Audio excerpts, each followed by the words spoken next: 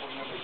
Bo to, e, proszę Państwa, następna taka mm, uwaga, jeżeli ustawicie e, źle stopy, możecie, możecie perfekcyjnie wyciągnąć pednik, ale tak będziecie, będziecie mieli problemy z ustaniem nogi.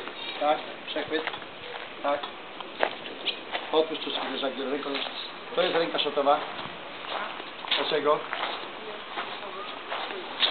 Nie trójkąt, ruch szotowy.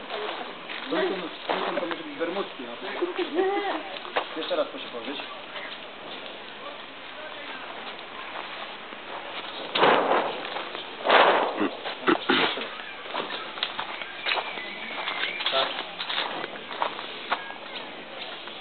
tak? Przechwyt.